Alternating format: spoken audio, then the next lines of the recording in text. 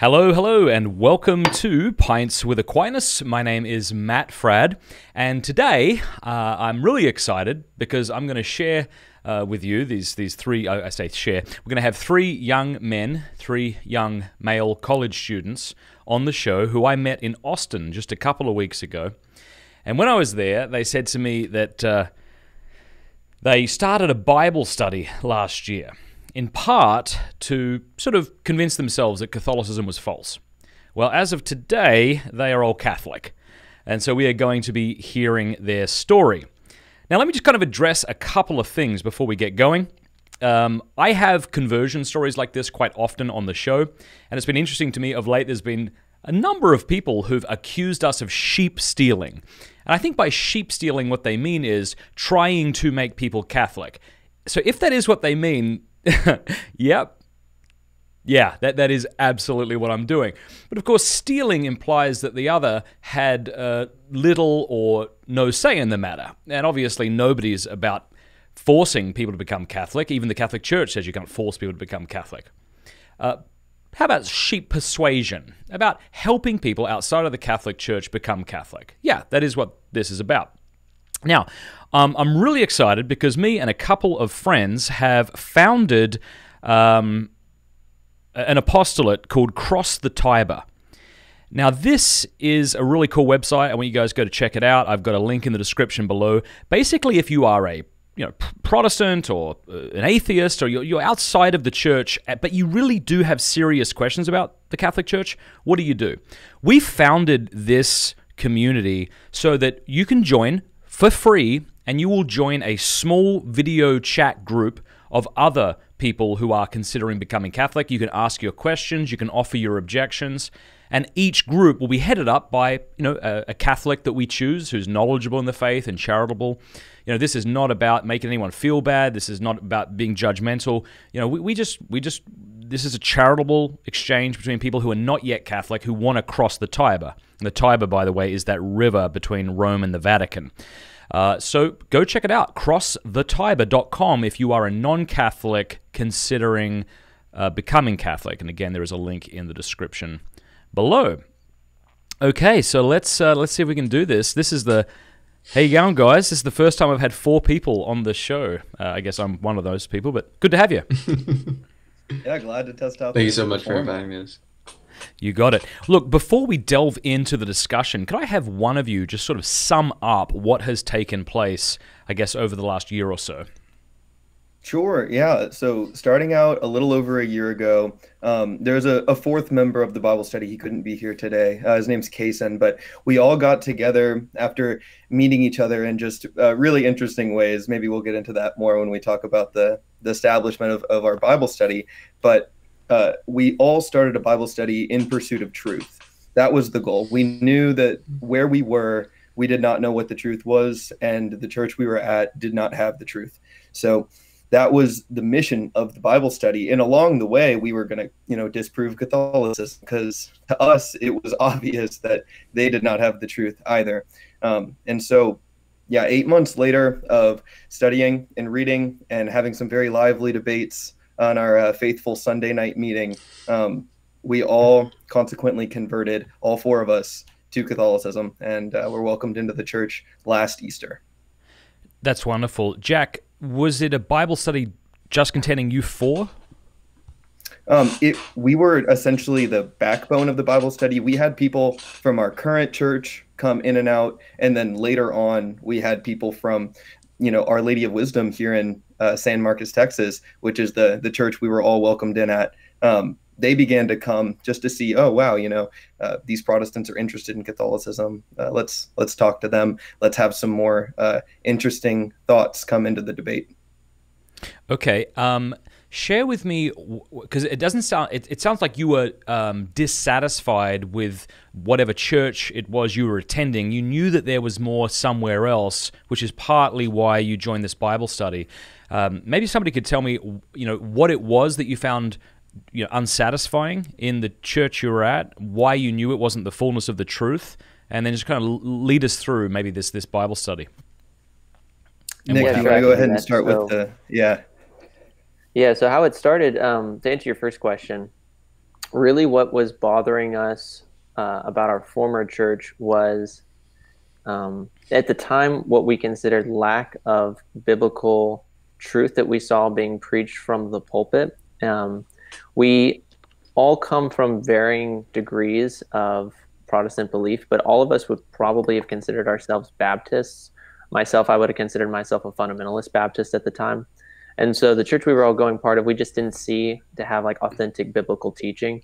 And as Protestants, um, you know, the Bible is the only thing that we have, and so we want to make sure that it's we're, it's being faithful to the teaching is being faithful to the scriptures, and so we did, we didn't find it to be satisfying, and so um, I very much so was upset and confused at the teachings that were, I were getting. I'll give you one quick example. Um, there was one week where um, from the stage, to give a little context, this was a pretty hyper charismatic church, which is kind of weird coming from a fundamentalist. You might ask, why was a fundamentalist going to a charismatic church? But one week we heard from the stage that while Christ was on earth, that he at a time ceased to be fully God um, and did most of his miracles mainly in his humanity for the sole reason to prove that we, through our humanity, can do miracles as well. Um, and so we found these teachings to be truly disturbing. And so that pushed us to desire to create some form of a Bible study uh, with two goals. The first goal being, what is truth? We want absolute truth. And then the second goal being, we want an end of sin in our lives. We want to get rid of it. Excuse me. Okay. If I was in your position, I think I would have just said, okay, there's bound to be a more orthodox Protestant church nearby that can more faithfully expound the scriptures. Did you look into that? Mm-hmm. Yeah, so it, I guess to jump back, how it all started, at least for me, to give like a quick summary of kind of where I was coming from. I was baptized in the Catholic Church when I was an infant, uh, when I was about three months old. But then, three months after I was born, um, my parents decided to, for varying degrees, leave the church, and I was brought up in a non denominational church and being brought up in a non-denominational church uh, it was good i learned much of what the scriptures teach things like uh, bible memory verse contests and sword drills if any of your audience is familiar with those mm-hmm. um, yeah it was very common and so the bible was everything for me as a, as a child and um, i had just a natural love of theology that from from a very young age that separated me from a lot of my fellow um, from my you know, people my own age, and through that separating, um, I always felt like somewhat distant from everybody. Um, so growing up, I, I, very much so wanted to do the right thing and to follow the Lord the best way I knew how. And the best way I knew how at the time, I, I reasoned was, well, maybe I should I should become a pastor. Maybe I should go and pursue a pastor. But as I'm reading the scriptures and uh, contemplating their meanings and uh, doing my own survey of church history, I find a sense of pride started to build up within me. Uh, you could say almost a religious pride of saying, you know, I think my interpretation of the scripture might be the only one because I'm looking around at what the scripture says and I'm looking at what's being taught and I don't see them matching up.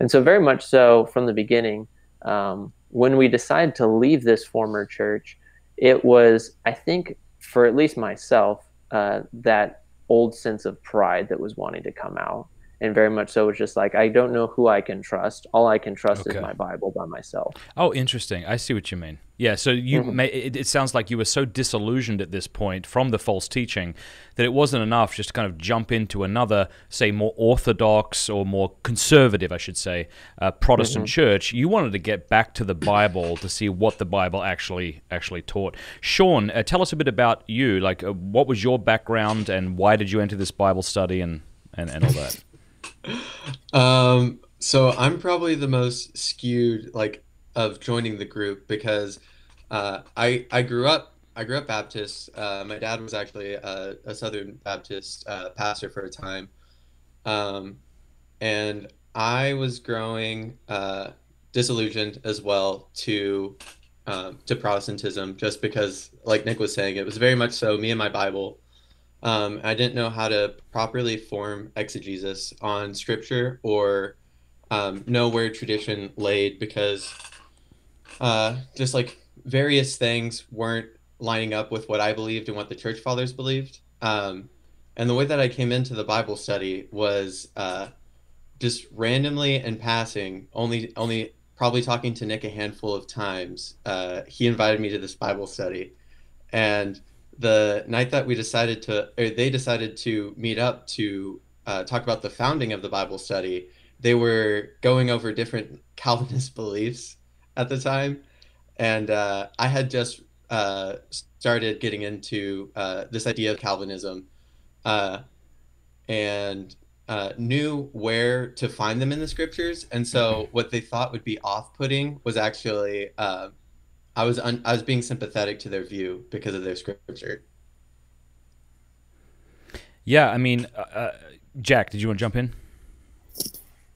Sure, I'd love to. Yeah, this is such a good story. I, I love telling it. But um, me and Nick had met at the church. We were we were both tending. Um, all four of us were going to the same very charismatic church, and all four of us were you know going through the motions. But it, internally, it was just not something that was feeding us.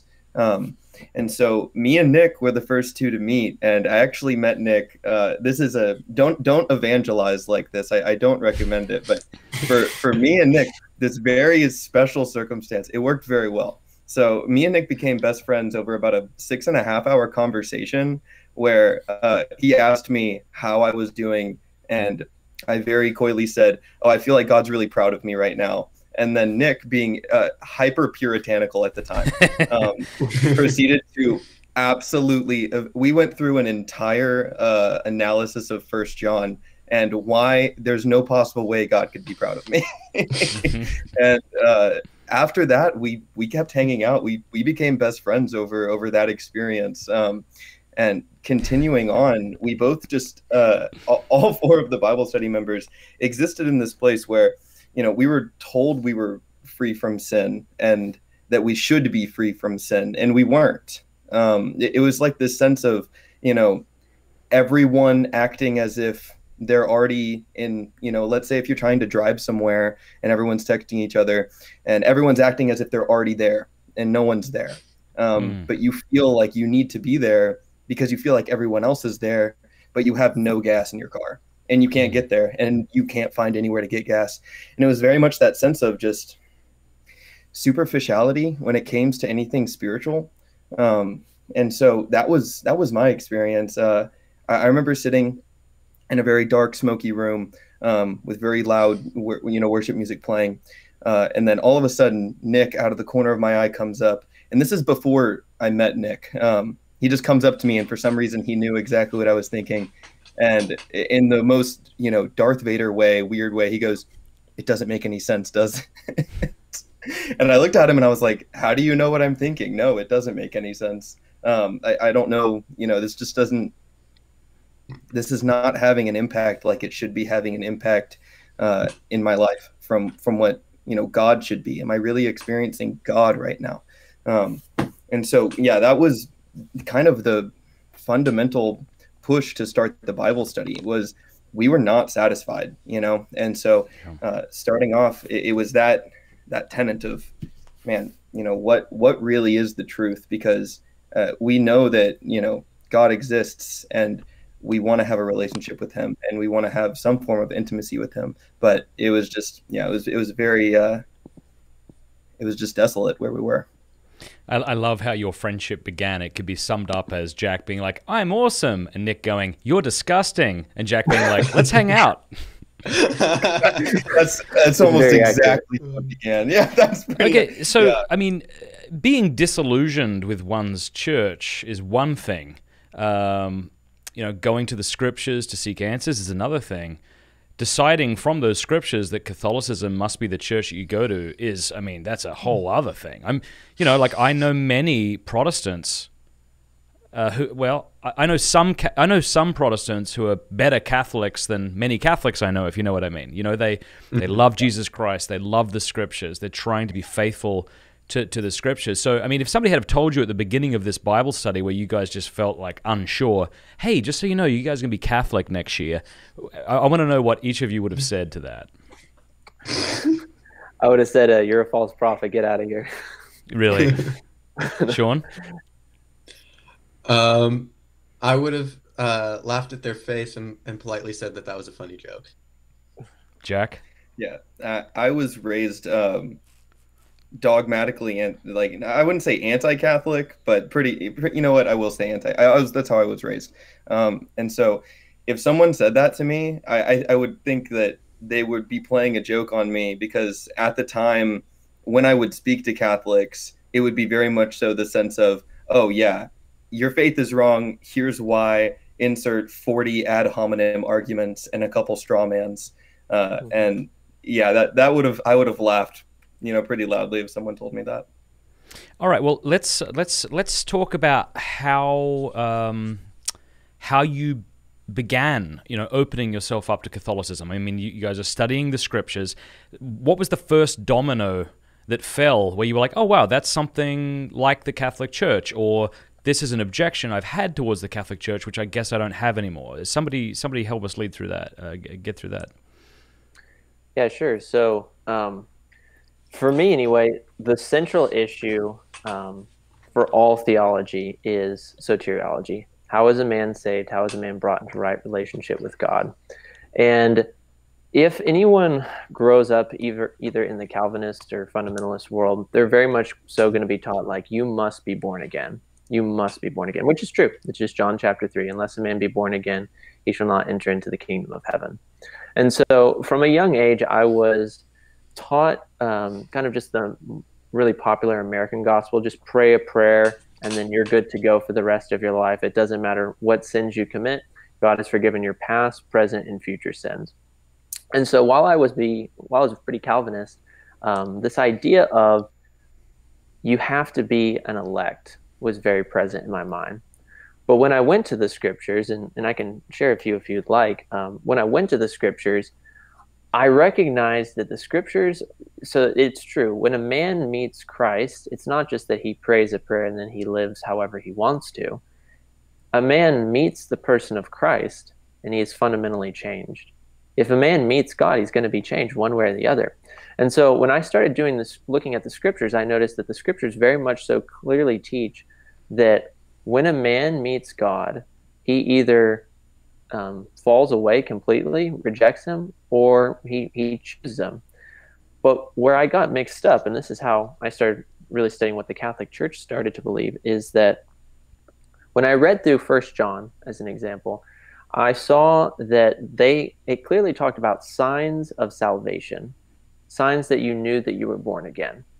And I would compare my life with them, and I recognized very quickly I do not know the Lord. And so, just to give a couple brief ones, hmm. uh, in the book of First John, in chapter one, it says in verse three, uh, the apostle tells us that that which we have seen and heard, which we declare unto you, and that that you may have fellowship with us, and our fellowship may be with the Father and with His Son Jesus Christ.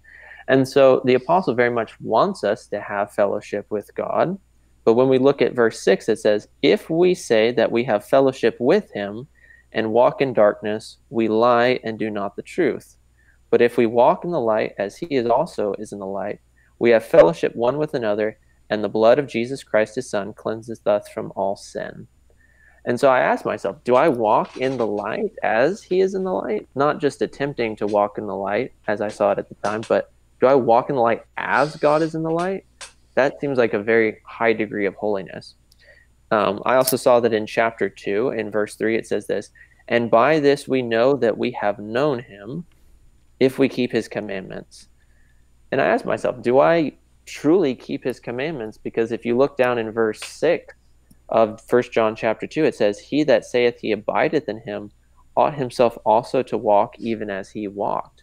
And that was the verse that really convinced me I, I clearly do not know the Lord because I don't know anyone who walks like Christ walked with that degree of holiness. And so, looking at it from the Calvinist perspective, either I'm going to have this born again experience where I'm just totally set free from all sin um, in, in, in, almost a perfectionistic kind of way, or else, um, yeah, I'm not going to be born again. I had no concept of the idea that being a process. How how, uh, how do you think a, a, Calvinist might respond to this? Because I, I, doubt that a Calvinist would agree with your interpretation that if I come to know Jesus Christ, I will be completely sinless. Mm-hmm.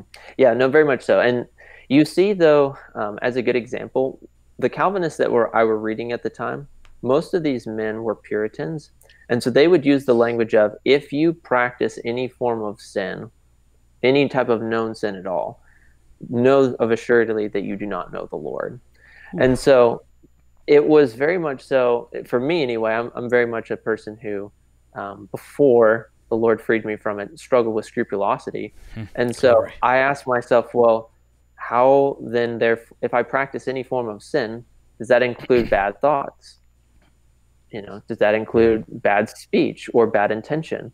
Because the Lord will judge me by those things, and unless I'm wiped clean from those things, could I be set free? And so, yeah, you. I think with Calvinists, you'd have a mixed bag. I think you'd have a lot of them who would say that um, it could be a process over time of walking in salvation.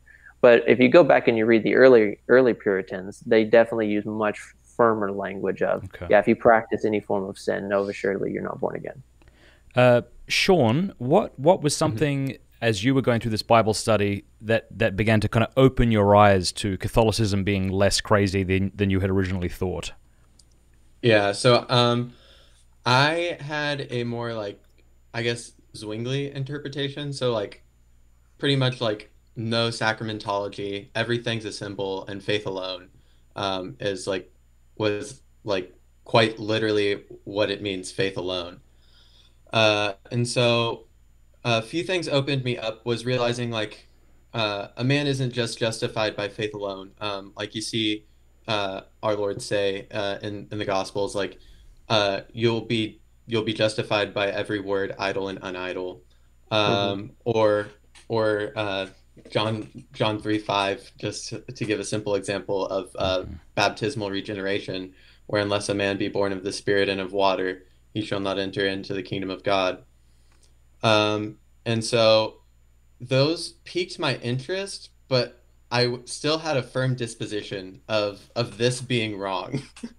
uh, but uh, uh, luckily for for me, Nick is is one of my best friends, and so uh, he just has this incessant pursuit of the truth. Uh, whatever whatever he feels is right, he will go uh, headstrong into it, even if it just completely contradicts what he believes. And so, me being stubborn in my beliefs, uh, Nick just asked me a simple question one day of, "What if Catholicism is true? Like, do you even have the door just cracked open just a little bit?" And uh, I had to be honest with myself, and I had to uh, realize my obstinacy in um, the belief of Catholicism. And so him asking me that simple question of what if it's just true just a little bit made me have to uh, actually take a real evaluation of uh, what the church teaches. Jack, uh, same question for you. What, what was it that began to open your mind that Catholicism wasn't as nuts as you first had uh, perhaps thought? Yeah, um, so growing up, hearing a lot of things, especially here in the you know the Bible Belt, Texas, um, there's a lot that's talked about of the Catholic Church that isn't really the Catholic Church. Um, oh, geez, I think it's uh, Venerable Fulton Sheen who has uh, the quote of, you know, not many people, maybe a hundred, uh, actually hate the Catholic Church, but thousands of people hate what they think the Catholic Church is. And I, I was absolutely one of those people. Um, so as we really started learning okay, well, if we're going to disprove something, we have to first know what they believe. As we started to learn what they believed, I started to realize, wow, okay, one, I believe a lot of straw men about the Catholic mm. Church. Um, there's a lot of examples of things that are just not accurate, you know? Like, for example, papal infallibility. I did not have the proper understanding of that. You know, it, it's, it was very much so me attacking, oh, so, you know, y'all are going to follow someone who you know thinks they know everything and gets to make all of the decisions on everything. And if they change their mind willy-nilly they can just completely make up a new faith and you'll have to follow them because of this doctrine of, of papal infallibility um, which was a straw man belief you know? And it's sad because uh, many many people still believe that about the catholic church. And it's not it's just not true. Um, there are multiple others um, uh, that we can get into uh, later, but that was the first thing. And then realizing, man, my argument against the Catholic Church is largely ad hominem. It's attacking um, the the least practicing members right. who who don't, you know, arguably you you couldn't call them Catholic, or, or they just don't know the faith, right? But um, yeah, realizing those two things of wow, I don't actually understand what Catholicism is. I hate a ghost, uh, and then two, my argument isn't is a logical fallacy, like ninety percent of it. Okay. Uh, did you all know any Catholics at the time? Were you speaking with uh, you know knowledgeable Catholics at this point, where, when you're just now beginning to think of Catholicism, that you could run these things by? I'd say um, unfortunately, in my experience, I only met with, by the time I converted, two truly practicing Catholics. Um, the Catholics that I knew growing up, they were the type of people who would, you know, get drunk on Saturday, stumble into confession, and then go to Mass the next day. And I'd be like, where's the freedom? You know, where's the walking in the light as He yeah. is in the light? Um, but there was one person in high school, yeah, and I have permission to use his first name, uh, Brian, who uh, would not stop he was he was an upcoming apologist, and he would not stop. Could not, would not. I know, right? And so he would he was very fair with me. He would come back with specifically Bible verses. He wouldn't bring because um, he knew I wouldn't accept it. He wouldn't bring a church document about X, Y, or Z. He would bring just the scriptures, and he'd be like, "Well, what do you think of this scripture or that scripture?" And so it very much challenged me um, to where, you know, I would be like, "Dang, you know, I've read the scriptures many times, but I just don't don't think I read that one. I just don't remember it. Uh, and then the second person would be uh, whenever I was finally, when I finally got to the point of recognizing that okay, salvation must be a process. It's 100% by God's grace, but it's not just an instantaneous cleansing from sin. It's a it's a process. It's a relationship with the Lord. Um, when I got to that perspective and recognized that the Catholic faith taught that, uh, I had a friend who invited me to go to mass with her. Her name's Maddie, and uh, when I went to mass uh, that day, uh, you know, I, I kind of knew what the mass was, um, you know, when to sit, when to stand, etc.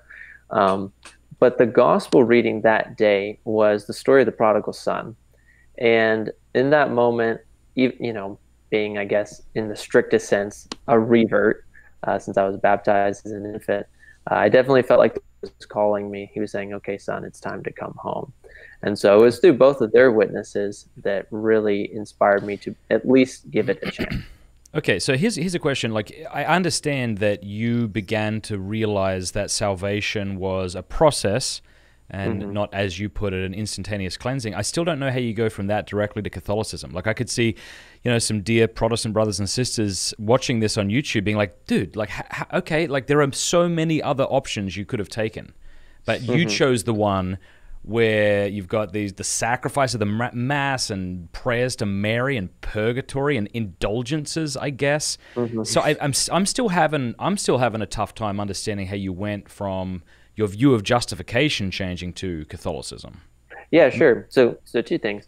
So I saw justification as becoming more and more of a process, and you know, James chapter two being very clear that you know salvation is not by faith alone, um, but it is by you know faith and by works done through charity, as Galatians five six says. So that's one thing that convinced me. Okay, at least the Catholics are right when it comes to some form of justification. Um, okay. But what convinced me of the other things were is I, I'm, I'm a history major, and to me, I had to ask myself the stunning question of um, why is my faith so young? Especially if I'm getting just interpretations from myself. Why is my faith so new? And thinking, you know, if I was logically wanting to trace any type of belief system, I would want to go back to the sources and see if I could at least find a, a you know a line of documentation going back to prove something. And so I was just like, okay, I keep hearing about these church fathers up on YouTube that everyone's talking about has converted them. So let me go and read them. Hmm. And so through reading this, the church fathers, I came to the realization of should I not interpret scripture as the fathers interpreted? Because I have a, a, weird conundrum. Either one, I can continue my hardcore fundamentalist interpretation and say that you know all Catholics are not saved, and therefore I can say the guys who knew the Apostle John were, were heretics and I'm right, or I can look at myself and say I'm the heretic and they were right. And so it was going back and reading through their interpretations of the Bible that I was like, wow, they actually did not have a problem when it came to sacred imagery, as I previously, you know, thought sacred imagery mm-hmm. was evil. They did not have a problem when it came to the intercession of the saints. And look, they're pointing me to these passages of scripture in Revelations where it's talking about like the saints receiving our prayers in heaven as, you know, as incense. And looking at these things, I'm recognizing, okay, I have a choice. I can either follow this pedigree that seems to be true. I mean, the fathers are literally calling themselves Catholic, or I can stay in my own perspective and um, and okay. just rule everyone out, if that makes sense. It does, yeah. Sean or Jack, and maybe we, one of you can go first, and then we'll hear from the other. What was your experience? I presume you began also to read the early church fathers, and if so, what was it that you found in them that surprised you? Um, for me, whenever I started reading the the church fathers, uh, what was astounding to me was that the like mystical body of Christ wasn't just this uh, wasn't just an abstract like mystical body of Christ, but a physical place, um, and not just like, uh, not just something that was like, oh, okay, yeah, we have a church building that meets on Sundays, but uh, like a hierarchical um, bishop, priest, lay people relationship, uh, and so that made me want to inquire more about well, if if the early church is believing that there's this line to the apostles, uh, where where does that line take us now? Okay, Jack. Yeah, totally. Um, I would say the most influential uh, realization that I had uh, was coming out of Exodus, because um, my biggest problem it got to the point I could even um, when it when it came down to it, and we were we were understanding the doctrines of the Catholic Church, uh, it, the last straw to fall for me was the papacy and being able to understand, okay, this is something that is good and not just good, but instituted by Christ. Um, and so I had a friend, actually a dear friend of all four of the people who started the Bible study, all four of us. Um, his name's Jonah um, he sat down with me and he was going through a book. I, I don't know if it, Nick or Sean, if you guys remember what book it was. Um, Jewish Roots of the Papacy. Yeah, yeah. He was going through Jewish Roots of the Papacy at, a at the time. Jonah's a, a man that we met um, while being interested in Catholicism and starting to to learn about it. Uh, we met him at Olo, Our Lady of Wisdom here in San Marcos. Um, and he sat down with me and he was like, Well, what are your questions about the papacy? I'm confused. Uh, where where do you not understand? Or why is it not something that you see as correct? Um, and we went together through um, exodus with the institution of the priesthood of aaron and the for that how that foreshadows uh, you know in i think it's matthew 16 uh, the institution of the priesthood with peter.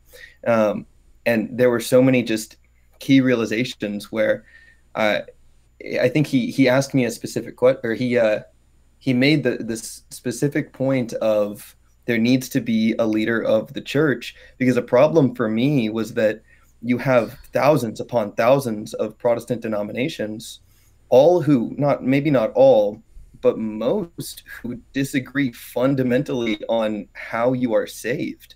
And so that was a that's that was a huge red flag in Protestantism, and that's why uh, we were looking for the one church. And so having this idea of oh yes there needs to be a leader of the church so that what happened in the protestant church doesn't happen where you just have disagreements and then schisms. Um, because then truth merely be, becomes subjective to you know whatever that church believes the truth is. And you lose you know the historical continuity of the faith that christ instituted through the apostles and realizing that it kind of it was really a conversion at heart that happened, uh, understanding that, wow, it was this kind of just miraculous change in perspective where I just realized the necessity of the papacy and how hmm. important it is to the faith. I'd like to ask each of you to tell me what your biggest obstacle was to becoming Catholic, doctrinally, I mean, not relationally. What was your biggest doctrinal hang up that you had to overcome before coming before becoming Catholic? I'll give you like two minutes each to to, to talk about that. Nick. Biggest doctrinal position was probably, um, I'd say, I'd honestly say the teaching on Mary was probably the hardest one for me. Um, mainly just because from from an exterior perspective, when you see uh, the idea of like praying to anyone other than God Himself uh, as a full, like full fledged worship, uh, that's how it's perceived. And so, how I really overcame the issue when it came to Mary was other than just studying what the scriptures said about her and st- seeing what the you know looking at the four dogmas of the church when it comes to our lady and comparing them with scripture. You know i saw that there was truth in that but there was always that personal hang up of like i just feel very uncomfortable doing this. I, I just don't know if that's right or not. And um, for me i actually you know praise god i actually had an experience with mary um, that forever changed my life I was very much so like torn. Is the Catholic faith the true faith? Because I see the scriptures testifying it, I see history testifying it, but my heart's not there. So intellectually, I'm there, but everywhere else, I'm not.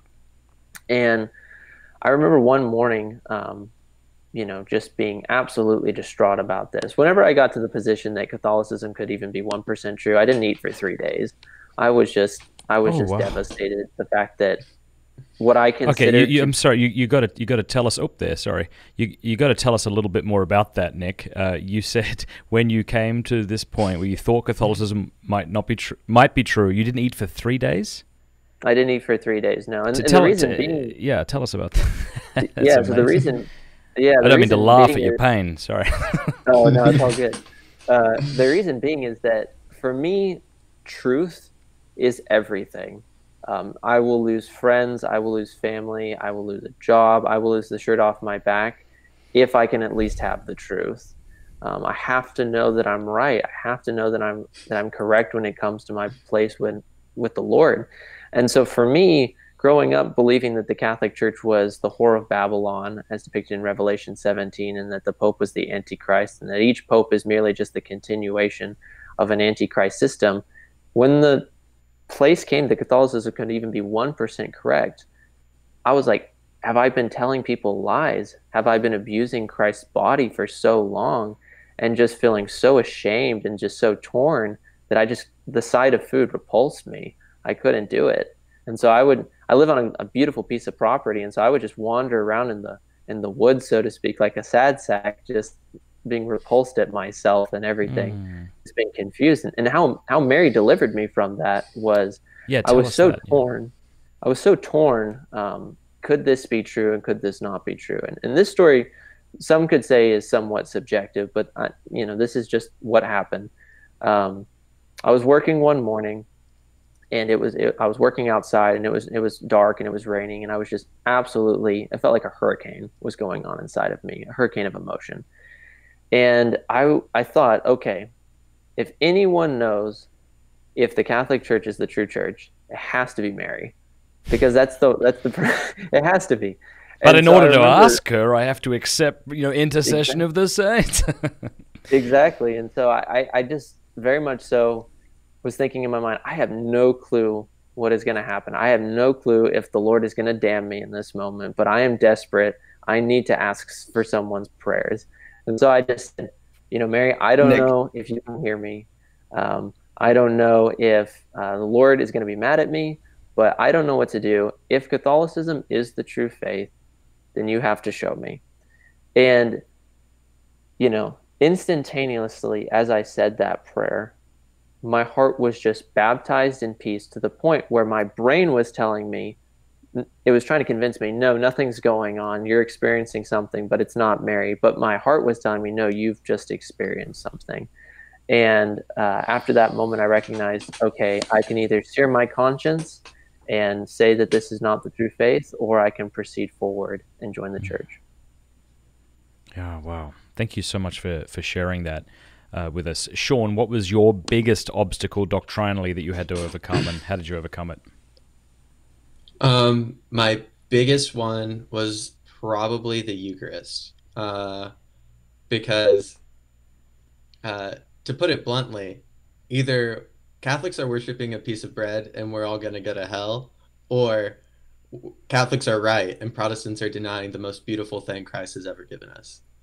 Um, and the way that like it was overcame was by Nick uh, persistently just asking me what John six was, um, and I tried to uh, symbolically interpret John six. Uh, you know, like I think uh, I believe it's Zwingli. He goes he goes down a few more um, uh, verses, uh, kind of like just kind of skims through the bread of life discourse, then goes, um, uh, "Man should not live on bread alone, but from the every word of the Spirit of God." And, and he's like, "See, uh, it, there's more to it, but uh, but mm-hmm. like." He's just kind of like you see, uh, symbol. Uh, no, and... Zwingli Zwingli's pretty brutal when it comes to his anti-sacrament ontology. Like in his work De mm-hmm. Baptismo, it's it's quite stunning. I remember being like act legitimately shocked by it that you know, like for example, you look at John 3 5, you cannot find a father that interprets it in a way contrary to baptism, you know? Mm-hmm. And Zwingli says, when it, and it is, in his work, he says, when it comes to baptismal regeneration, I can only conclude that all of the fathers and doctors have been in error. And you're like, really? at least, at least you're, at least you're honest. At least you're consistent. Yeah, whenever whenever I was looking at the Reformation, because obviously that's like the place to go, I was just like, who's the most like vehemently opposed to Catholicism? And so he was the Reformationist that I took somewhat uh, kindly to, I guess. Um, but yeah, I, okay.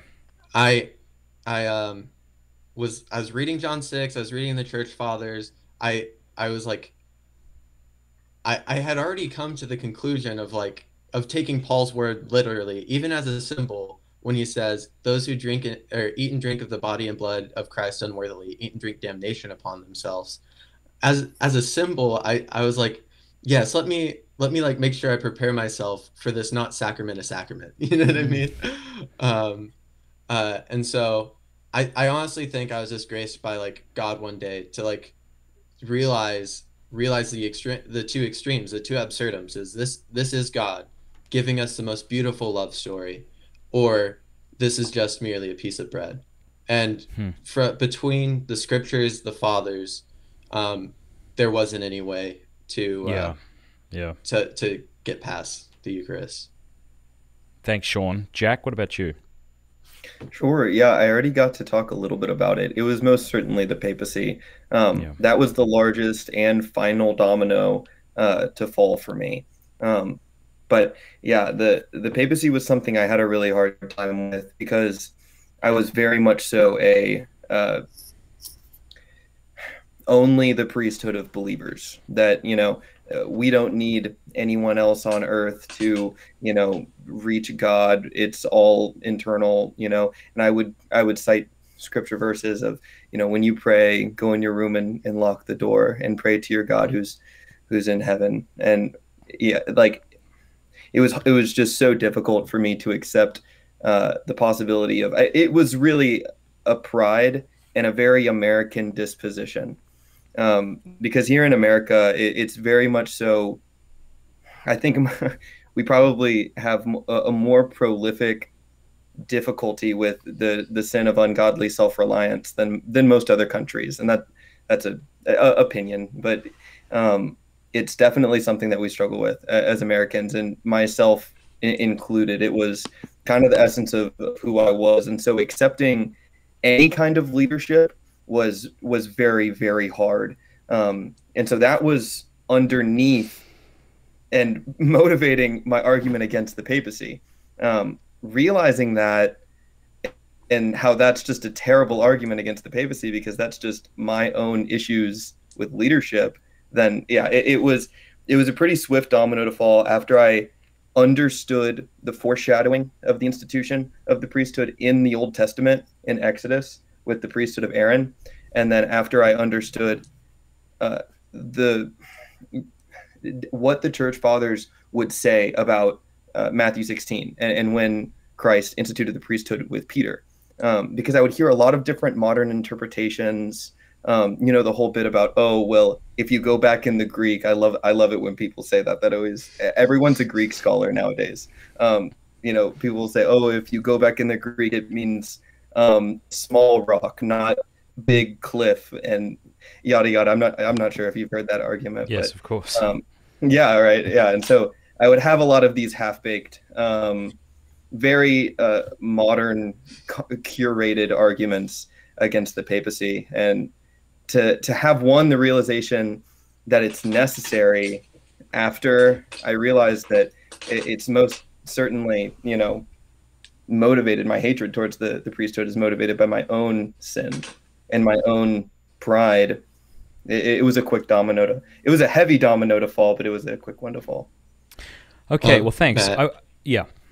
could we sorry uh jack whenever he came to the conclusion of the papacy he went to a focused bible study the next day and had an experience oh. in adoration. And it's just it's literally the most beautiful story I think we'd be remiss not to not to say it before. Like, I would love, I would love, I would love us to do that. I want to do one thing before we get to this story uh, of your experience in adoration. I'm excited about that. Um, and then after that, I'm going to ask the guys whether or not Pope Francis and the the sort of sexual abuse uh, that's been prominent in the media over the last years was in any way uh, an obstacle for them to become Catholic. Before I do, I need to say thank you to Hallow. Uh, Hallow is an excellent app that will help you pray. It is 100% Catholic and it's very well produced. You can, you know, check it out. Um, you can download it right now. Um, they've got sleep stories that lead you through different prayer experiences, like different Lectio Divinas, um, nightly examens, and things like this. If you have trouble kind of keeping your brain like on track as you're trying to engage with daily prayer, you're going to love Hallow. Uh, there's a link in the description below. Go to hallow.com slash mattfradd right now, and it's free, right? The app is free, but if you sign up on their website using hallow.com slash mattfradd and use mattfradd in the promo code when you sign up, you can get three months free every single thing on the app. So you can try it out. If you don't like it, you obviously you don't have to pay. Um, but go check it out because it is a really good app. It's nice to see Catholics making really great media. So again, H A L L O W, hallow.com slash mattfradd. Hallow.com slash mattfradd. Again, that link is in the description below. So be sure to go check that out. Yeah, okay, Jack, tell us about this experience in adoration. Sure. Um, so my once the domino fell for the papacy, um, it was like a a really powerful chain reaction um, because, like Nick said earlier, I think we were all very much so. It's just me and my Bible. Um, you know, we haven't found the church that is God's church that the gates of hell will not prevail against. Uh, it must exist, but we haven't found it. And so until then, it's just going to be me and my Bible. That was my disposition. Uh, and so I had never really been truly fed by a church. It was very much so just um, me hearing anything and going, it, it, making its way through every filter in my brain, um, going, you know, is this good? What do I think about this? Is this true? Is this crap? Uh, does this person just want my money? Um, you know, what's what's going on here? And so it was a very, very skeptical perspective I had on anything anyone said. Um, and so to have this internal piece about understanding the necessity of the papacy, I was able to trust that you know the Catholic doctrine is true and that that truth persisted uh, in you know being true until now. And so I went to my first Catholic Bible study the next morning at, at 6 a.m. Um, and I, it, it, was a it was a great Bible study. The the Bible study leader actually ended up being my confirmation sponsor, um, which is a, another good story. Um, I was sitting in that Bible study, and I just had this internal experience of not feeling as if I had to put my guard up, because I was listening to what he was saying, and I knew where he was coming from, because he was coming from the same place that I had been studying and reading about, you know, for the past I think it was seven months at this point. Um, and I saw the historical continuity with you know the points that he was trying to make, and I just realized that wow, I can really let my guard down and experience the mystical body of Christ and experience being fed by a church, by an administration Um, and it, it, brought me to tears in the middle of the Bible study. I had never felt, um, I'd never felt that before. And so to experience that within a church, it was like I had finally found what I was looking for. Um, and then immediately after that, after that Bible study, um, they had adoration at Our Lady of Wisdom, which is is so wonderful. They do that every single morning. Um, I sat in adoration because I, you know, I coming off of that experience that I just had, I was I was 85% sure, you know, that wow, yeah, this is it was the, the chain reaction was happening and I could tell it was happening and I wasn't converted internally yet, but I knew that it was making its way from my head to my heart. Um, and so I sat down in adoration, just in the presence of the Blessed Sacrament for a, a while. It, it felt maybe like 20 minutes. Um, do y'all remember how long it was? It was like two hours, I think it was. It was insane yeah. time. It was it was something like that. But I was sitting in there for a good bit of time, and um, internally, I felt like I was literally being ripped in half um, because I had this past self that was so obstinate to the Catholic faith and that held all of these, you know, anger, all of this anger and hatred and pain from the Catholic Church. Um, and on the other half, I had this part of me that was understanding the beauty and being fed by the Catholic Church and experiencing peace. And it was very i was i was brought to tears again in adoration. And i am not the type of person who cries very often. You can ask the uh, nick or sean.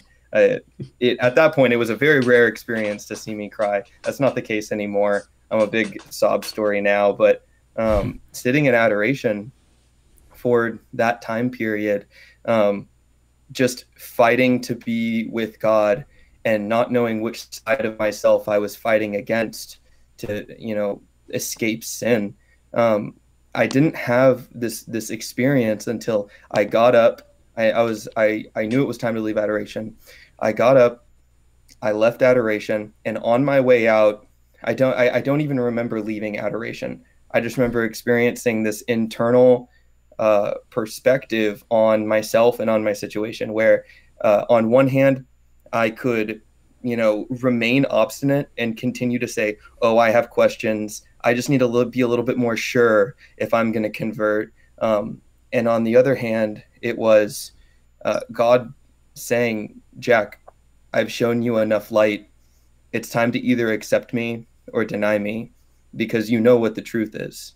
Um, and I remember ex- experience that. And with what I uh, would have argued reprobation was at the time, I was very scared of that experience because um, it felt as if you know it was choose me or, or or deny me. But in that moment, I said, "Wow, yeah, I, I it's been it's been a long time. What else is there for me to understand? I have no valid oppositions against the Catholic Church, and it's not you know, it's not good to just keep spouting ad hominem arguments, which uh, I guess we'll get to in a second. Um, yeah.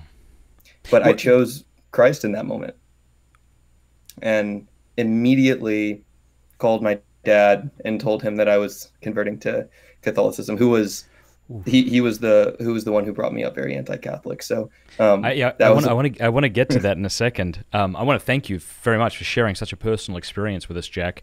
Um, I want to get some questions from those who are watching. We got over 500 people watching right now, and so I want to take their their questions here in the live stream. But I want to just ask each of you, maybe to try, try to be as brief uh, you know, as you can. Um, you know, there's there's been a lot of scandal in the church, and I think uh, Catholics used to and perhaps still like point to the unity we have in opposition to our Protestant brothers and sisters. But really, there's a there's a lot of division within the Catholic Church. Um, Pope Francis has said things that at least, at the very least, seem really confusing and done things that do as well. Uh, you've got, you know, clerical abuse scandals popping up all over the place. Um, was how how did this play in your con- conversion to Catholicism? Did this, yeah, how how was that in, in facing that and overcoming it? Maybe.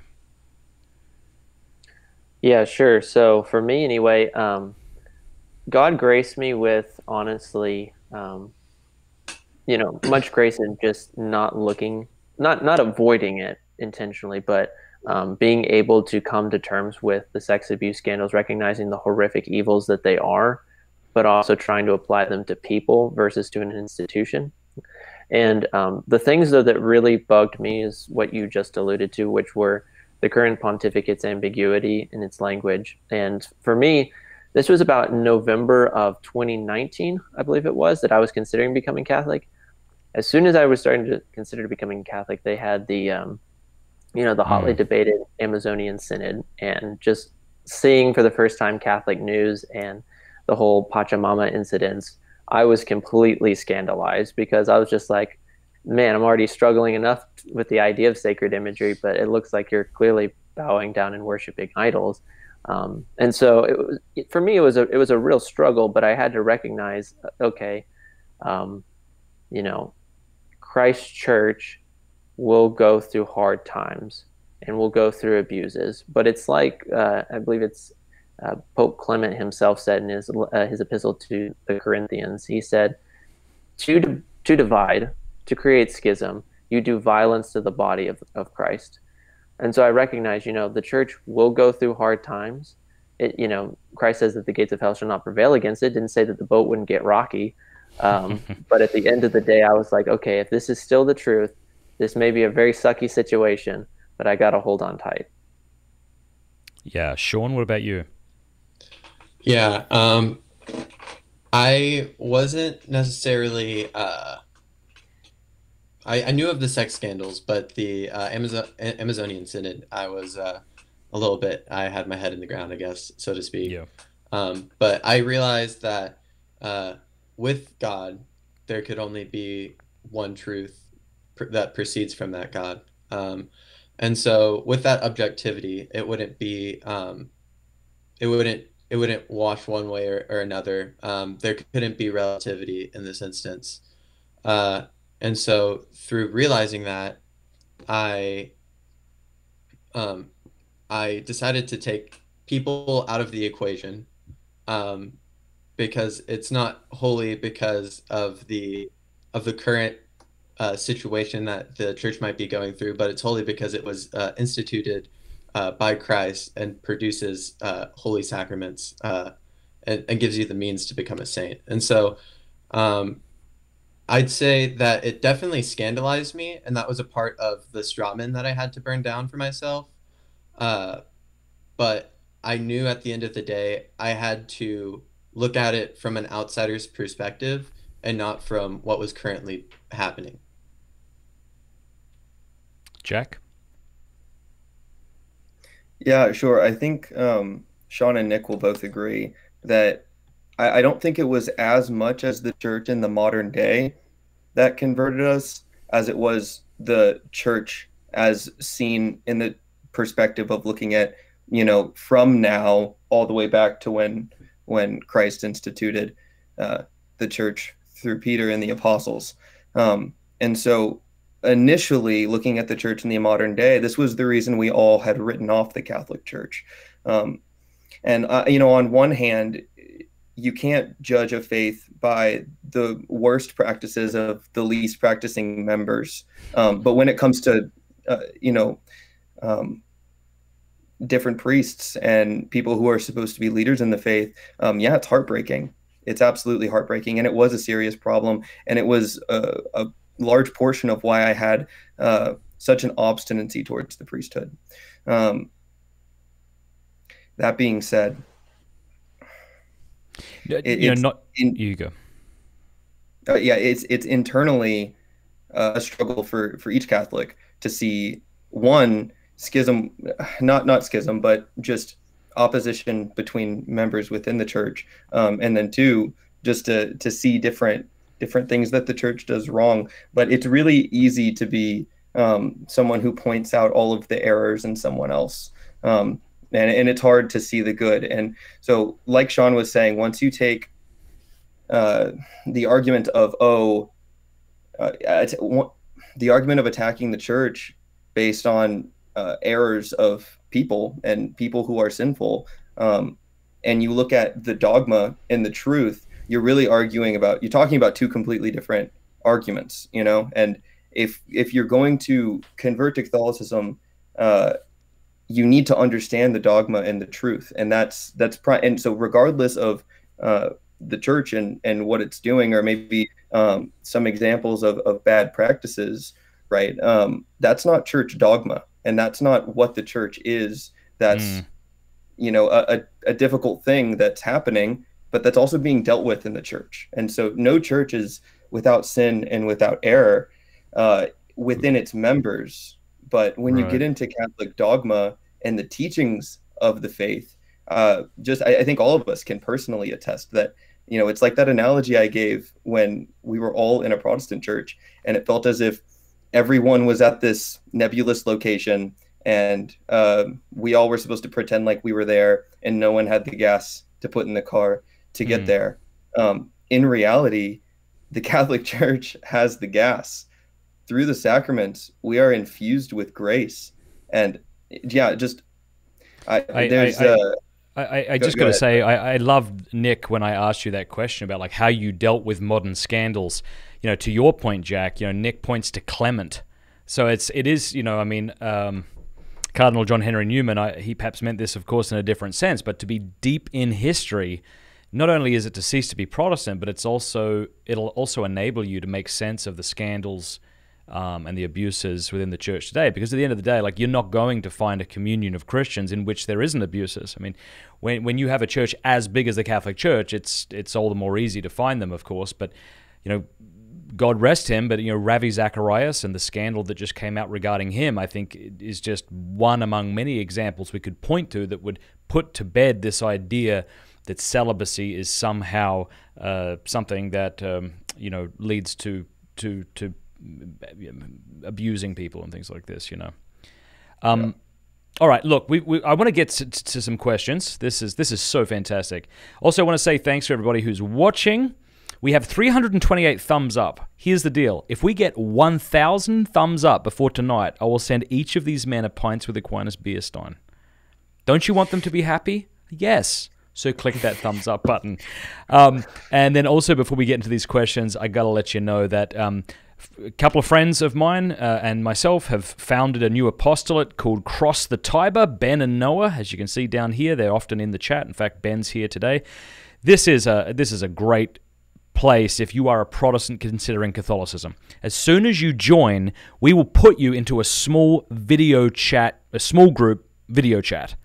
And you and several other Protestants and a Catholic who is faithful to the teachings of the magisterium will help answer your questions, and um, it's 100% free. You know, so we're not trying to make money from this. It's just so that you guys can have some guidance. So go check it out. It's a kind of non-judgmental place where you can ask questions and uh, yeah, crossthetiber.com. Crossthetiber.com. Go go check it out. There's a link in the description below. All right let's let's let's see here what we've got. Um, man, lots of people asking questions. We've got almost like 600 people, so my goodness gracious. Let's see what we got. Okay, Francophone, thanks for the super chat. He says, "How did your people react to your conversions?" Yeah, so talk talk to us a little bit about your family uh, and your friends. How do they react? Uh, let maybe just go one at a time. Obviously. sure. So to give you so to give you an idea, there was a scale that we made uh, of how people would react to when we told them we were becoming Catholic. One was the indifferentist; they didn't care, and then ten was Martin Luther. Um, and so, you know, honestly, I was very nervous telling my parents. Um, I, you know, because I didn't know how they react. I knew that my parents definitely didn't necessarily like the church, but I had definitely had comments over the years that were very much anti-Catholic, and so when I phoned my parents, they were actually in Rome of all places, and uh, when I told them, uh, they very much so understood my reasonings, my mainly the intellectual reasonings.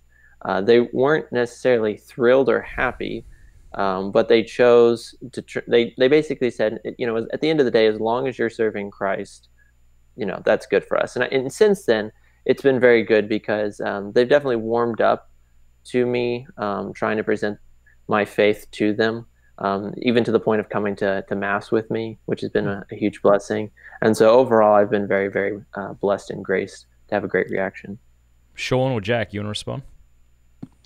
Uh, yeah. whenever um, my parents found out, they were not the they're probably the same boat as as, as Nick. They were worried that um, I had jumped the gun. It was uh, like a very like quick thing. They like presented with me a bunch of straw men, um, but as uh, as we like begin to build up like dialogue and stuff, uh, they've they've realized it's more it, it there's more grounds uh, to to my conversion than just uh, oh all my friends were doing it. And uh, they also are uh, not the most thrilled but the same boat as, as as Nick. They're like as long as they're serving God Jack Sure. Uh, between my my family, there were two polar opposite reactions. So my mother and my sister could not have been more excited for me just to be happy about something. Um, so they were infinitely supportive of me, my mother and my sister. They uh, they always have seemed to have my back in any situation. It doesn't really seem what the context is. In total opposition to that, uh, my dad could not accept it. Um, this was something that he, what he saw as a fundamental separation uh, from us that inhibited us to have a relationship. Um, and so I think he still struggles with seeing it to that to that direction. It's hard. I very much so see two people in my dad. On one hand, um, his bringing up of having such animosity um, and hatred towards the Catholic Church, and on the other hand, the fact that you know he's my father and he loves me, and I know that he loves me um, despite his hatred for what I believe and the church that I'm a part of. So when I called him, he was he was very very upset uh, that I had made the decision to become Catholic. Um, I think it was out of the blue for him, uh, despite our, our, us having uh, constant debates about it. It was something that came up every single time we talked on the phone. The fact that I was, you know, reading about Catholicism and the history of Catholicism, and um, that was that was problematic. That was problematic for him. Um, however, yeah, he had initially a very poor reaction. Um, months later, he was more so able to accept the fact that we are different, uh, but he very much so would explain my conversion as uh, the manifested problem from what he saw his like his failures as a father in my life. Oh, and so um, That's I think. I yeah I, it's a it's a very tough thing that he's he's uh, he's dealing with, and and uh, it's it's only gotten worse since my uh, recent application to seminary. So No. uh, we didn't even touch upon that yet. Yeah.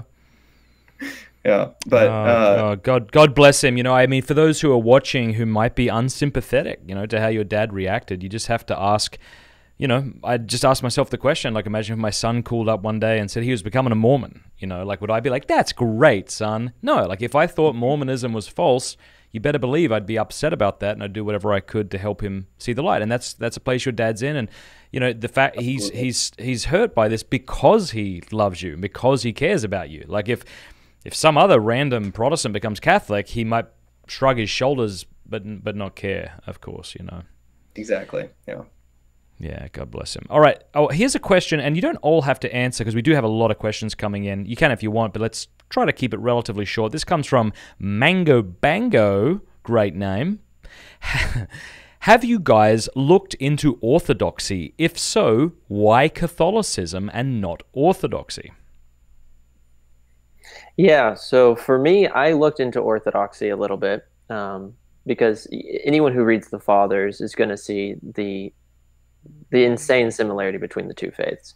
Um, but for me, the idea uh, in the four signs of the Church, the idea of it being Catholic in the sense of it being universal, I did not see being played out as well in the Orthodox Church as I did in the Catholic Church. And that the small example would be the fact of two things. One, the fact that all of the churches seem to be based on some form of a nationality, so Russian Orthodox, Antiochian Rite, etc. Um, and so for me, I just I just thought it would be weird for you know someone from Texas just to kind of walk into a, a Greek Orthodox church that was mainly focused on Greeks. And so for me, I was just like, that seems doesn't seem to encapsulate the universality of the church as well as the Catholic Church. And then the second thing being, um, at the end of the day, as someone who just needs to know and wants to know the truth.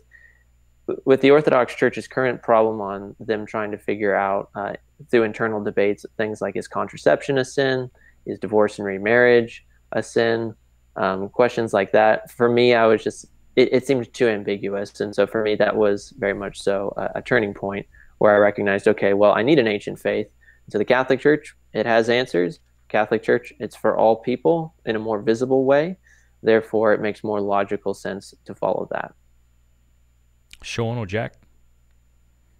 Uh, pretty much the same boat as uh, Nick. I just add to the fact, like, I I feel the almost necessity of a monarchical of like of like a monarchical a monarchical rule mm-hmm. in the mm-hmm. church, uh, because uh, like I if all four of us are bishops and we all and we all disagree, who who has to say that like like me and Jack agree, and then and then you you and Nick agree, who has to say to uh, come and, and dispute it? And obviously they'd say that like uh, there's there's higher premises of bishops, but at some point somebody has to give the final rule on faith and morals, and so um, just that third stool of of the magi- mm. of the magisterium uh, is what attracted me. Thanks. Jack, did you want to add something? Sure, just a, a little thing. We actually have a good friend um, who comes to our Bible study and, and comes to Mass with us, um, who's converting from Protestantism. Uh, I think Nick was the first to meet him. He walked into Our Lady of Wisdom, uh, and he, I, I, think Nick introduced himself and he said, "Hi, I'm I'm Jacob. I'm I'm looking for the uh, the Apostolic Church." Um, and he said, "Oh, well, you've come to the right place." Who, who did he uh, say I, that to? Nick. Oh, little did he know who he was saying that to. Nick was. I could see Nick Nick looking over this man's shoulder and saying to somebody out of sight, "Lock the doors." Yeah, that sounds exactly like something that would say. Um, but yeah, just on his own his own uh, testament. To, to I'll just state one point. Uh, I don't. This is the only thing I, I really have to add. What's already been said is that uh, he very much so wanted to experience both of the churches. Um, and so he would go to a, a, Catholic church one Sunday and an Orthodox church one another Sunday. Um, and on one hand, it's extremely hard to actually find an Orthodox church close to him. Oh, um, sure. When he goes to that Orthodox church, there's a very small amount of people. Um, it's not, you know, I think he said maybe there were 50 people there or so um, for like the primary service on Sunday. Um, and to be fair, all of them were adamant about their faith, which is so wonderful. Um, but just like Nick was saying, it doesn't have the universality um, because it was a, I think it was a Russian Orthodox church. And so it was very much so uh, upon his description saying they felt, he felt as if when, when people looked at him or he wasn't very welcomed, they were more so, oh, why are you, why are you here? Mm-hmm. Okay. Yeah, yeah. Okay. Uh, Decluse Views, by the way, this guy's got a fantastic YouTube channel, which I highly recommend. And uh, uh, would you know, go check it out. But he said, uh, "Do any of these fellows have experience with Eastern rites and or the traditional Latin Mass before or after their conversions?" Oh, oh, do we? Um, so, yeah. So, um, Lock the during doors. during November of 2019, during the uh, the whole incidents with the uh, the Pachamama scandals, it very much threw me off and being like, should I even convert or not? And so, I was going to uh, a local Novus Ordo parish at the time, and um, I had been, you know, as kind of the nerd of the group, heavily reading the like the Council of Trent, trying to understand like, okay, I just want like very clear Catholic teaching in the face of Protestantism historically. So I'm just reading this, and then I I go to um, a Novus Ordo parish, and um, you know, obviously not every Novus Ordo parish is like this, but I was just very confused at what I saw. Uh, things along the lines of guitars and drums being used during mass, and people going up to the communion line in sports jerseys. And for me, I was thinking, you know, aesthetically, if you, you know, you know, I know doctrinally you believe this is God, but aesthetically, I, I don't see it. And so I questioned for a long time based off of the aesthetics alone like is this true because these guys don't act like this is the lord at all um, and so for me i I, uh, I, knew about the traditional mass and i decided one uh, it was on all souls day to to go to an early requiem mass at like 7:30 in the morning. It was a, it was a sung mass, and um, I sat in the very back pew because I was like, I don't know what's going to happen, and I don't want to be embarrassed or anything. And so uh, whenever the uh, the introit started, I literally thought this has to be a recording. The Schola can't be this good, and I, I witnessed um, through the mass everything that I was reading about in the faith just come to life very much so. And so it was very much the traditional mass that converted me um, and, and, is what kept me in the faith. And so all three of us regularly attend on Sundays up uh, in Austin, St. Mary's Cathedral, um, for the Latin Mass. Yeah, all right. Uh, we have a pay- a question over at patreon.com slash mattfradd. Thanks for being a patron, uh, Adam. Uh, have uh, Adam says, have you had to explain to your Christian families that they can't receive the Eucharist and if so, how did you do that in a charitable way? Hmm. Sean or Jack? Okay, I know the answer. Jack, your your your mom's been to mass. Sean, has any of your parents been to mass with you? Yeah. Yeah, my my my uh, dad had Catholic friends back in college, and so he knew better than uh, to oh, receive. yeah. Okay. I just told my parents very quickly, and they they accepted it with charity. Yeah, um, for me, my mom and sister have both come with me to mass, and um, I don't think it was something that you know. It, when first of all, as a Protestant, when you go into a Catholic mass, it's kind of intimidating because there's a lot of uh, things that everyone knows to do that they don't know what to do, and so there's this air of I have no idea what's going on, and so oftentimes in my experience, bringing someone who is Protestant to Mass, they're looking for someone, i.e., you who brought them, um, to tell them what to do and inform them on how they should act. Because most people, if they're willing to come to a Mass, they want to be, you know, understanding and, yeah. you know, yeah. of the culture and not go against the grain. And so um, I've never had an experience where it's been someone's, you know, been told that they could, uh, that they couldn't receive the Eucharist and they've been uh, offended. Um, however, as long as you stress uh, what the Eucharist is and mm-hmm. why they can't receive it, then I, I, think yeah, I think you're you're good to go. Yeah, I'm trying to put myself in the shoes of a Protestant or non-Catholic uh, approaching Holy Communion, I, I, think it's like, you know, you're out of your comfort zone. You're, you're going to this thing. Uh, you hope that you'll be welcomed. You hope that nobody's going to corner you and, you know, tell you going to hell or something like that. So I think you're already kind of coming and you're a little anxious about the experience. And to be told that you must refrain from this thing, I can understand. Uh, why somebody would be put out by that. I think telling them, look, this is for Catholics who are in a, in a state of grace. And so it, not only are we asking Protestants and non Catholics to refrain, we're also asking Catholics to refrain who don't think they're in a state of grace. And, um, you know, I, th- I think uh, most Protestants would, like, just, just like if I was going to a Protestant church, I would want to know, like, what are the rules? Because obviously I don't want to offend anybody. I think that, that that's probably how I'd take it. Hey, funny story, uh, Nick, because you said maybe you come from a fundamentalist Baptist background. I was, I was in, uh, where was I? Um, but Baltimore? I think it was in Baltimore at an independent fundamentalist Baptist church, and it was unreal, man. They they they handed out Chick tracts as we entered. Um, you know, mm-hmm it was it was something else, man, and I appreciated their zeal uh, and their lack of drums. Uh, but afterwards, we, we went out to this pancake place, right? And I said to my friend, who was an independent fundamentalist Baptist, I said, "So who's in like who's what's like who's in charge?" And they went, "Well, no one's in charge. Like really, we are a brotherhood." And, and I'm like, "Okay, cool, but who's in charge?" And she's like, "That guy." like you can't get away from that darn hierarchy, can you? No, it's the man of God. You got to listen to him. Yeah. Um, hey, here's a question. You guys were part of a Bible study that included more than just the four of you you referenced earlier. That the the mm-hmm. man who's not with us today, who also became Catholic. Uh, how did they take your conversion to Catholicism?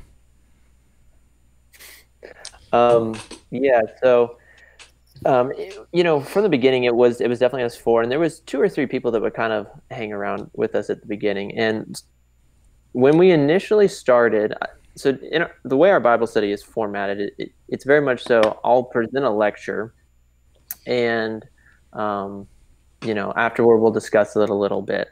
And I, as I was getting closer to Catholicism, would kind of start to test the water, so to speak, just to see how they would react. And so, um, you know, I would talk about like the more central ideas of the Trinity and a more doctrinal uh, understanding. And then I would throw out baptismal regeneration. And for the most part, um, people took it well.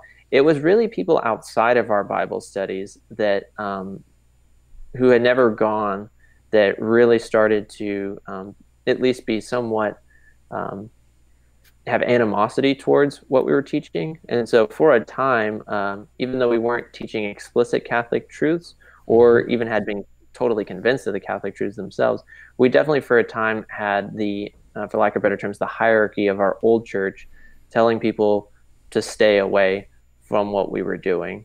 And so, um, unfortunately, everyone that was kind of there in the beginning of the Bible study dried up and, and packed up and left. And so it was just us that remained.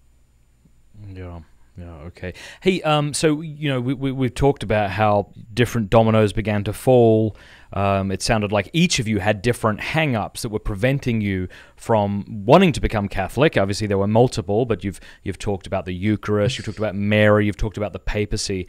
Uh, when I mean, was it was it something like the three of you or the four of you got together and were like, okay, I guess we're all going to do this, or were some of you further along the road to Catholicism than others? How did how did that work? Um, very cool if I take it. Yeah, go for it. Um, uh, sorry. Uh, Nick Nick was probably the first one to be convinced. Um, just because he was very principlist in his in his views, uh, and so he was being belligerent to me. Uh, and and around the time that he was being belligerent, uh, I had to come up with with answers for his answers, which then came back Catholic, uh, in which then we went and became belligerent to Jack. and, then, nice. and then and then all three of us were belligerent to Kason. Jack, who mistakenly thought that God was proud of him, jerk. Oh yeah, that's still kind of how Nick and I's relationship is. It's pretty good. Let's just hope that Nick marries a woman with a good self-esteem or becomes a priest. Amen. Yeah. Um, so I just want to remind everybody we have 476 likes. If we get a thousand thumbs up, I'm going to send this Pints with Aquinas beer stein to these guys. Uh, and I also want to encourage people who are watching right now to consider becoming a patron. This is the only way you get this uh, Pints with Aquinas beer stein. Also send you a copy of my book. You get stickers. You know, all this work, believe it or not, does cost money. Um, we put about $30,000 into the new studio, into the lights, the cameras. I'm paying people to fly out to be on the show and things like this. And so it would mean the world to me if you're enjoying this content. Go over to patreon.com slash mattfradd. There's a link in the description below. Give 5, 10, 20 bucks a month. Um, and you'll join this amazingly vibrant community of other Catholics all around the world. We do all sorts of studies, uh, you know, on Thomas Aquinas and other things. And yeah, it would be it would really mean a lot. Pintswithaquinas.com. Uh, you can give to me there, or just go to patreon.com slash mattfradd. All right, guys. Well, what else? Uh, what else should we maybe touch upon before we begin to wrap up? Um.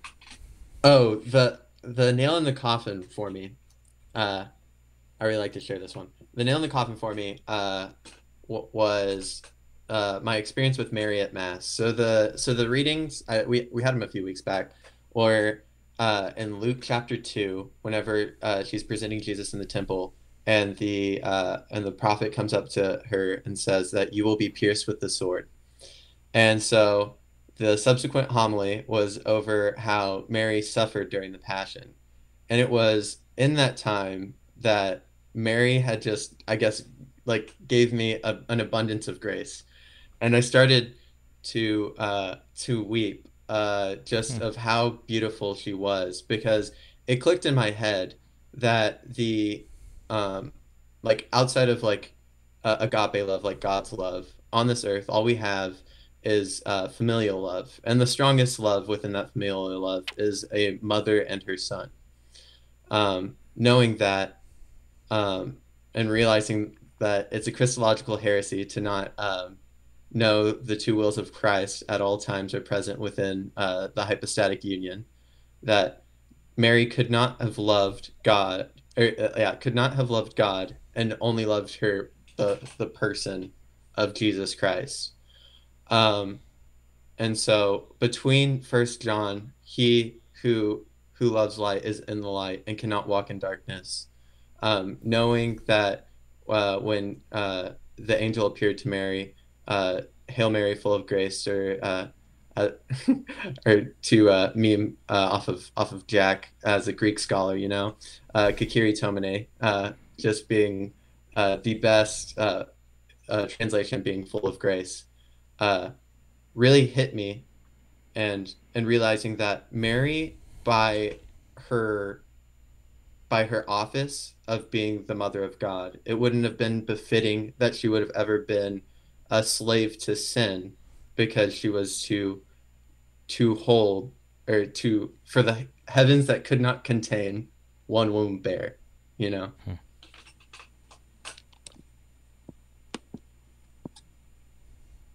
And and uh, Oh, I was just gonna say, after mass, I was like, I was like, I cleaned myself up, like was like was finishing prayer. I told my I told uh, one of my friends who was Catholic, he was like, "Well, Mary's got you, so I, I think you have to convert now."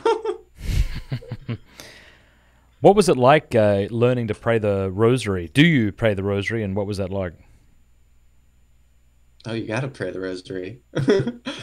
um, uh, learning to learning to pray the Rosary was. Uh, was very was very beautiful um because I I don't think I've I I, w- I I never really did any any lexios as uh as a Protestant and learning to just like truly know what it means to meditate over and over and over again on just one uh, part of the Bible or or the mysteries of, of the of the gospel.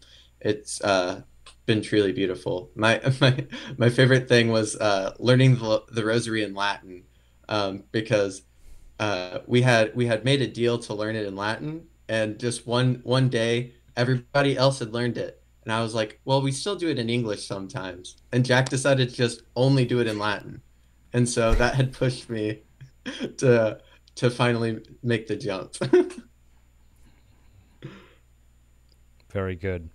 Well, brothers, it is a pleasure to hear from you. Um, Jack, all the best with uh, entering seminary, and Nick and Sean. Thank you so much.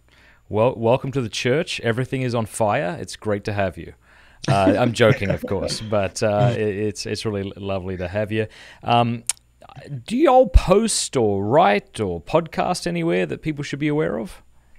this is where we plug the Thomistic Institute. Yes, um, do uh, it. All three, do it. all three of us are part of the Thomistic Institute. I'm the president. Uh, Nick is a is a vice president, and uh, Jack's a part of it at, here at Texas State. Um, do you make people call you Mr. President? Because I would. I mean, I hope so. no, I'm just kidding. um, uh, and so and so, yeah, I think that it's a it's a great place to learn um, the uh, Catholic uh, intellectual tradition. Absolutely. Yeah, yeah, yeah. Yeah, I would say yeah, if you're in the if you're in the, you know, San Marcos, Hays County area, definitely check us out at Texas State. Um, also there's a wonderful chapter that's up at UT. Um, if you're up more in the Austin area, definitely check them out. All right. God bless you, brothers. Thank you so much for being on the show. And uh, yeah, hope we bump into each other again. Thank you, Matt. Thank you, Matt. Thank you so much. Bye.